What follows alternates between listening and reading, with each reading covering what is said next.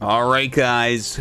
This is going to be it. This is the CasterMuse Narak Star League, and we are in the round of eight. This is game number five between Beast and Killer. If you haven't seen the other ones, they are paired up a couple games each uh, on the previous couple days of VODs that have been released.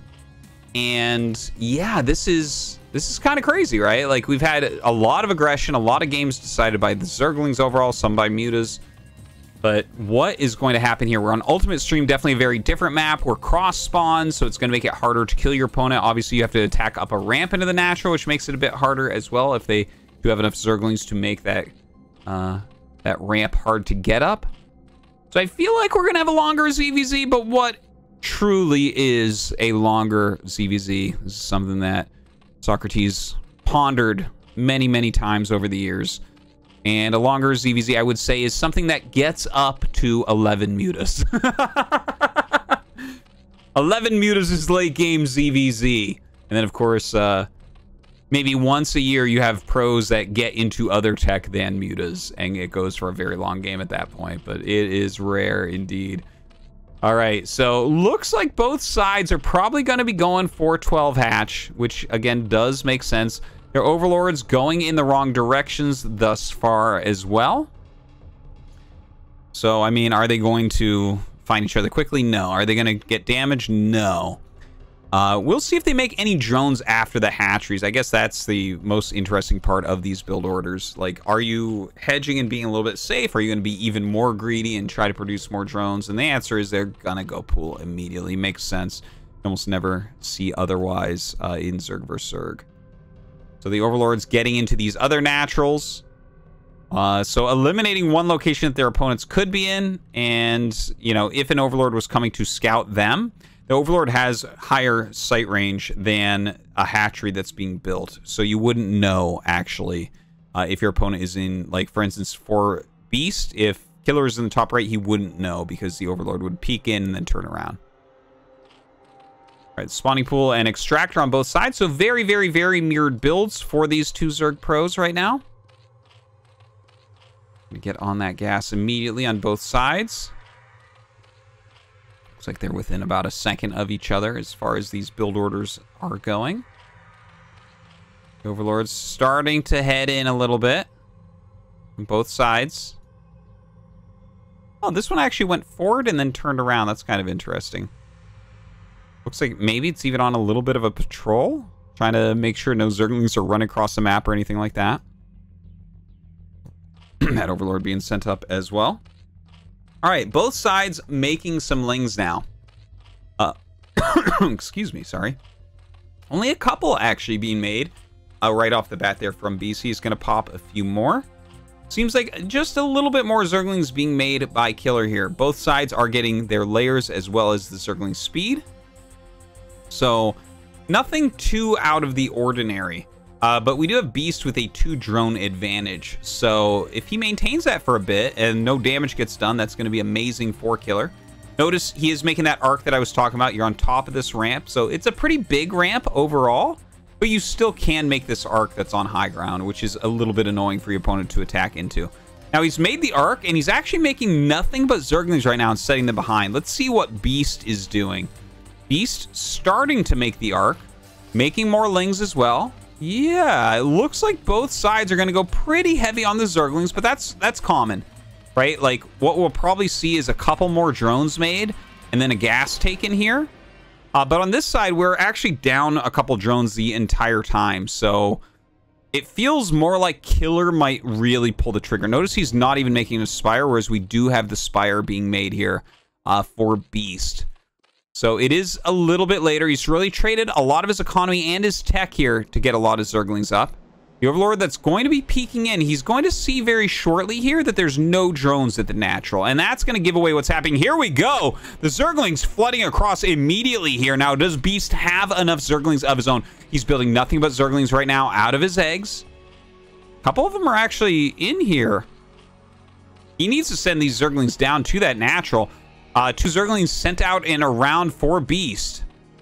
Okay, here we go. Killer wants to attack up, and here we go. He is going to start attacking up. Beast going forward right now with his set of Zerglings. Drones coming up to fight as well, but he has a lot in the main base. A huge mistake, a huge mistake here from Beast. How are you supposed to hold on if you have six Zerglings not in the fight? He starts to trade poorly, so it goes even worse than expected for him. Oh, this is brutal. He has got to be kicking himself as Killer is going to kill off so many of these Zerglings. More coming out of that natural hatchery, but definitely a better trade at the beginning here for Killer, who is behind the mineral patch. Getting good trades here once again. Four Lings left over in this main base looking for any damage that he can get. Oh my god, he's going to get a drone. Two drones right there going down. Killer getting a big advantage. Oh my god, just barely not getting this one. Only one Zergling hit left. More Lings coming across the map right now here for Killer, who is now up two drones after all of that. Muta's starting to pop out. Looks like there was a bit of a counterattack, so he actually ends up losing some of his own a little bit of equalizing going on here from that counterattack of Beast. A lot of foresight in him to remember he sent those two Zerglings up the side over here uh, for a counterattack, and those ended up doing fantastically for him. But now Beast is down a single drone. Both sides starting to make mutas. There are a few Zerglings still out. The economies, though, terribly small. Terribly small on both sides which means even that one drone advantage is pretty gigantic for Killer. I mean, when it's 9 against 8, what is that, like 11% bigger economy? What a silly thing, 9 versus 8, to have such a large percentage associated with that. Really the only matchup that functions like this in the game. All right, we have those extra Scourge being made. Of course, when you're this poor, the Scourge going to be worth quite a bit since they don't cost many minerals, and your gas uh, income isn't really going to change at all in these situations. Now, getting on top of some of these lings, looks like uh, Beast wants to pick off another Overlord. That's actually a big kill right there. That supply blocks killer, and of course, you don't want to be making Overlords at the moment. That is a painful thing indeed. Now, going in behind the attack here of Beast. Is Beast too far out of position? He's going after another Overlord. Doesn't quite do it. Some Zerglings going for a counterattack here for Killer. Oh my god, we don't actually have any units in here whatsoever. He's sitting back his mutas, but that's going to be a little bit late. We could actually see some drones killed off. Oh, Lings popping out just in the nick of time. One of the Lings actually getting stuck on the extractor. So Killer's counterattack, I like the idea, but it ends up doing nothing at all. Right, Killer here killed off a couple Lings himself, so they both had a similar idea.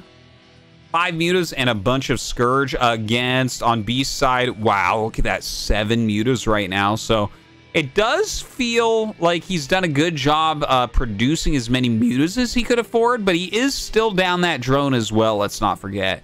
So I don't want to count out Killer yet, but the supply differential uh, is going towards Beast a fair amount. Now six mutas here, more Scourge being made. Two more mutas going to be popping here for Killer as well. All right, so we're going to have 8 Muta against 8 Muta here momentarily. Of course, Scourge on both sides. We have 8 Scourge. Ah, I can't click. 8 Scourge. All right, let's see it. How is this going to end up going? Killer coming up, and damage already being dealt. That is some drones going down 8 to 7 now. Beast takes that drone advantage, is up in supply still as well. This is a crazy game right now. Like, neither side can really afford to make much of anything. Beast trying to add in a couple drones. He has so many Scourge with his Mutalisk Flock right now. Killer going to try to come in on top of everything. Right now, Beast just running away. Okay, he's up at 10 drones against 7. But he did just get supply blocked. Still has more supply than even what Killer's available supply is. Couple Lings trying to get in for some harassment. Look at how few drones are mining. We have four drones mining for Killer here. That's like nothing. Oh, and here we go. This is going to be the engagement. Oh my god, the Scourge actually getting gunned down very quickly. A lot of Scourge still left over here for Killer. Beast might be taking the bad end of this fight. It looks like we actually have an additional Muta over on the side of Killer as Beast tries to back up two, three of his Mutas extremely low on health right now. Killer might be able to get the killing blow here despite being down economically at the moment. All right, Beast turns around to fight. He does have more Scourge that are about to pop, but is he going to lose all his mutas before those actually come out and get into play? The Oh, so low right now. Ling's popping out, going for that counterattack, but it looks like Killer with five left over is in a demanding position here. He is going to be able to kill off all of these drones and so little left over. Like a few Scourge are being made at the natural. The drones being killed off. The Scourge coming in. Can Killer connect with any of these? Ooh, he is taking a lot of Scourge hits, but still has those two mutas as well. A big Zergling counterattack. It looks like we're getting into a base trade. Five drones against seven, four against seven. More being killed off right now. The Scourge going after Scourge because he can't kill him with the Muta. And finally, they do all get killed off. But back at home, a single Muta here to help against these Lings. It looks like Killer going to be up two drones at the end of the day. More Lings popping out. Look at this. It's four drones against five right now. Just nothing as far as economy goes. This one Ling staying alive. Did get another kill, amazingly. More Lings, for Killer. Are we actually...